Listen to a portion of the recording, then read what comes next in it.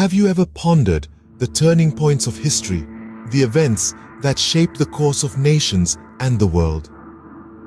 Consider the assassination of Yitzhak Rabin, the fifth Prime Minister of Israel. This tragic event not only ended the life of a leader, but also sent shockwaves through the political landscape and peace process of the Middle East.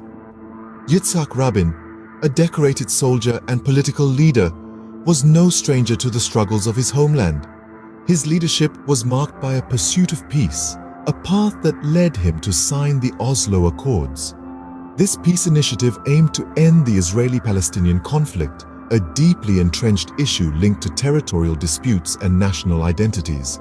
However, this bold move was met with fierce opposition from right-wing conservatives and Likud leaders, who believed it would forfeit occupied territories and endanger Jewish lives. The stage for the tragedy was set on November 4, 1995, at the end of a rally in support of the Oslo Accords in Tel Aviv. As Rabin was entering his car after the rally, he was hit by two shots. The assassin was Yigal Amir, an Israeli ultranationalist who firmly opposed Rabin's peace initiative.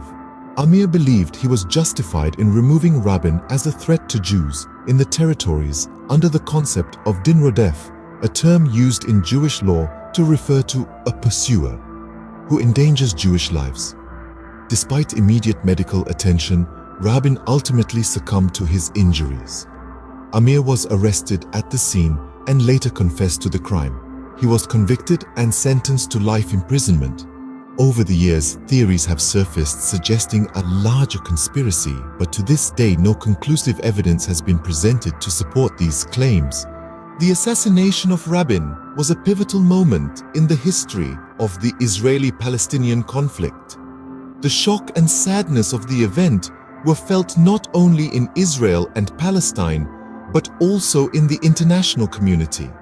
The act polarized Israeli society, deepening the rift between the left and the right, the secular and the religious, the supporters and the opponents of the peace process. This tragic event weakened the Labour Party, paving the way for the Likud Party, led by Benjamin Netanyahu, to gain power in the 1996 elections. Moreover, it undermined the Oslo Accords, which faced increasing violence and resistance from both sides and eventually collapsed in the Second Intifada in 2000. In retrospect, the assassination of Yitzhak Rabin was a turning point in the history of the Israeli-Palestinian conflict.